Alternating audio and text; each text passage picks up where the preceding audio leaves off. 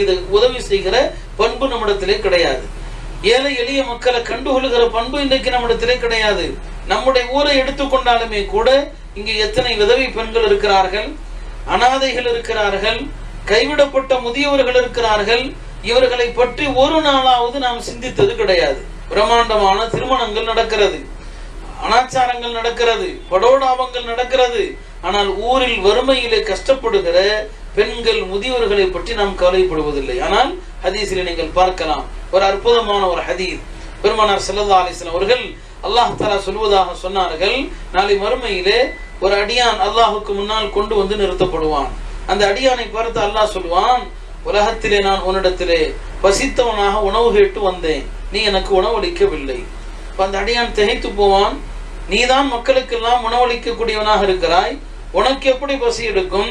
நீ எப்போது என்னிடம் உணவு கேட்டு வந்தாய் என்று அல்லாஹ் சொல்வான் என்னுடைய அடியார் ஒருவர் உன்னிடத்திலே உணவு கேட்டு வந்தார். நீ அவருக்கு உணவளிக்கவில்லை. அவருக்கு உணவளித்திருந்தால் அங்கே என்னை நீ பார்த்திருக்கலாம். அல்லாஹ் சொல்வான் அந்த இடத்திலே. அடுத்து அல்லாஹ் சொல்லுவான் நான் உன்னிடத்திலே தாகித்தவனாக வந்தேன். நீ எனக்கு தண்ணீர் கொடுக்கவில்லை.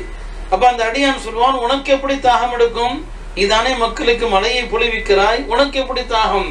அல்லாஹ் சொல்வான் ஒருவன் தண்ணீர் கேட்டான் என்னுடைய அடியார்களில் ஒருவன் நீ தண்ணீர் கொடுக்க மறுத்தாய்.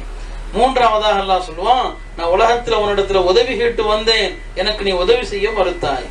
அப்பயும் அல்லாஹ் அதைத்தான் சொல்லுவான் அப்பொழுதும் உலகத்தில் என்னுடைய அடிமைகள் ஒருவர் உன்னிடத்துல உதவி கேட்டு வந்தார் நீ உதவி செய்ய மறுத்தாய்.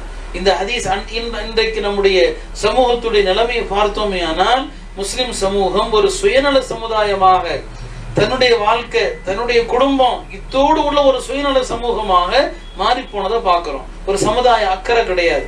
ஒரு சமூக உணர்வு கிடையாது. இத்தனைக்கு நபிசல்லா அலிஸ்லாம் அவர்கள் காலையில எழுந்திருக்கிற போது என் சமுதாயத்தை பற்றிய அக்கறை இல்லாமல் எழுபவன் என்னை சார்ந்தவன் அல்ல. காலையில் எழுகிற போது என்னுடைய சமூகத்தை பத்தி அக்கறை கிடையாது. தன்னுடைய வயிறு தன்னுடைய குடும்பம் இது யாருடைய தன்மை? முனாஃபிக்குடைய தன்மை. நயவஞ்சகனுக்கு அவனுடைய வயிற்றை பற்றிய கவலை தான் இருக்கும். அடுத்தவர்களுடைய பற்றிய கவலை இருக்காது. இது நயவஞ்சகருடைய பண்பு. ரசூல் ஸல்லல்லாஹு அலிஸ்லாம் அவர்கள் என் சமூகத்தை பற்றி கவலை இல்லாமல் எழுபவன் என்னை சார்ந்தவன் அல்லன்னு சொன்னாங்க. இந்த சமுதாயத்தை ரசூல் ஸல்லல்லாஹு அலிஸ்லாம் அவர்கள் ஒரு உடலை போல் என்று சொன்னாங்க. ஒரு கட்டடத்தை போல் என்று சொன்னாங்க. ஆனால் இன்றைக்கு இத்தகைய உணர்வுகள் நம்மிடத்துல எங்க இருக்கிறது? நம்முடைய சகோதரர்கள் எவ்வளவு ஒரு என்னென்ன சிரமத்தில் இருக்கிறார்கள்? துயரத்தில் இருக்கிறாங்க. நம்ம அதை பார்த்தோமா? நபிசல்லா அலிஸ்லாம் அவர்கள் மறுமையில தனக்கு நெருக்கமான மக்கள் என்று சில பேரை பத்தி சொன்னாங்க. இவங்கெல்லாம் எனக்கு நெருக்கமா இருப்பாங்க. யாரை பத்தி நம்பி சொன்னாங்க? தஹஜ்ஜு தொழக்கூடிய மக்கள் எனக்கு நெருக்கமாக இருப்பாங்கன்னு சொன்னாங்களா? இல்ல அப்படி சொல்ல கிடையாது. சதாவும் நோன்பு வைக்கிற மக்கள் எனக்கு நெருக்கமாக இருப்பாங்கன்னு சொன்னாங்களா? பெருமானார் அப்படி சொல்லல. தன்னுடைய மிக நெருக்கத்தில் இருக்கிற மக்கள் யார சொன்னாங்கன்னா யார் அனாதைக்கு பொறுப்பு இருக்கிறானோ அவனும் நானும் இப்படி இருப்போம். ஆனா வ காஃபிருல் யதீமி கஹாத்தை ஒரு அனாதைக்கு பொறுப்பெடுக்கிற மக்கள் மனிதன் இருக்கிறானே அவனும் நானும் இப்படி இருப்போம். அல்லாவுடைய தூதர் ஸல்லல்லாஹு அலைஹி இந்த குணத்தை அனாதைகளை அரவணைக்கிற குணம் இருக்கிறது இந்த குணமுடையவர்கள் எனக்கு நெருக்கமானவர்கள். இதைத்தான் நபி சொன்னாங்க. நபி சொல்லா அலைஹி சொல்லுவாங்க உங்களுடைய பாவங்கள் மன்னிக்கப்படணுமா? ஒரு அனாதையினுடைய தலையை தடவி கொடுங்க பாசத்தோடு. உங்களுடைய க- கை விரல்கள் எத்தனை முடிகளில் படுகிறதோ அத்தனை முடிகள் அளவுக்கு உங்களுடைய பாவங்கள் மன்னிக்கப்படும். இன்றைக்கு அனாதை இல்லங்கள் முஸ்லிம் சமூகத்திலே கேவலத்தின் அடையாளமாக இருக்கிறது. வசூலுக்கு வரக்கூடியவர்கள் அனாதைகளை இழிவான தோற்றத்தில் வைத்து படம் எடுத்துக்கொண்டு போட்டோ எடுத்துக்கொண்டு பள்ளி பள்ளியாக வந்து நாங்கள் அனாதைகளை பராமரிக்கிறோம் என்று சொல்லக்கூடிய ஒரு காட்சியை பார்க்கிறோம். இத்தனைக்கும் அனாதைகளை இழிவுபடுத்துவதை மக்கா காபிர்களுடைய அடையாளமாக அல்லா குரான்ல சொல்றான் லா துக்ரிமூனல் யதீம் நீங்கள் அனாதைகளை கௌரவிப்பதில்லை. ஊர்ல எத்தனை அனாதை குழந்தைகள் தந்தை இழந்த எத்தனை குழந்தைகள் ஊர்ல இருக்கிறாங்க? இதை பத்தி சிந்தனை நமக்கு கிடையாது. நபிசல்லா அலிஸ்லாம் அவர்கள் தனக்கு நெருக்கமான மக்கள் யாருன்னு சொல்லக்கூடிய மற்றொரு ஹதீஸ்ல சொன்னாங்க.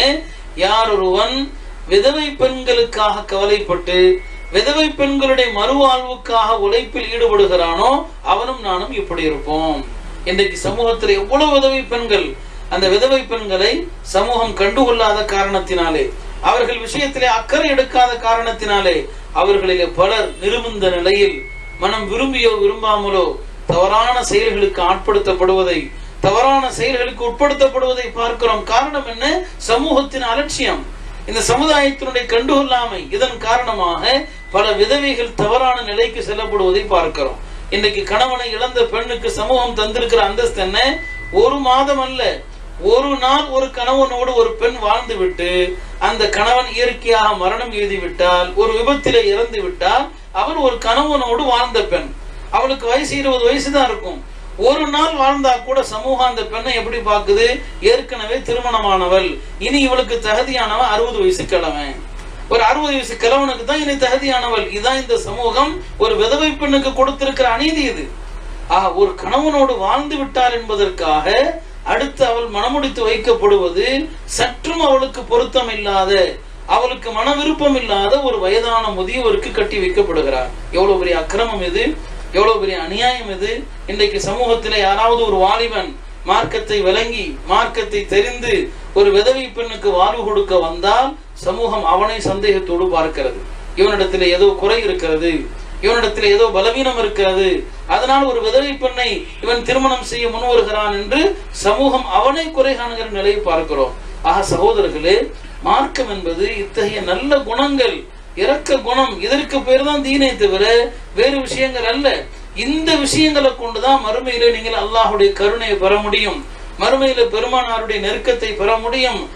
அல்லாஹ் அல்லாஹ் சொல்வதாக பெருமானார் ஸல்லல்லாஹு அலைஹி சொன்னாங்க இர்ஹமு பூமியில் உள்ள மக்கள் மீது நீங்கள் கருணை காட்டுங்கள் இரஹமுக்கும் மன் வானத்திலே முடிவு செய்யப்படுகிற எல்லாமே நம்முடைய குணங்களை பொறுத்து தான் இருக்குது.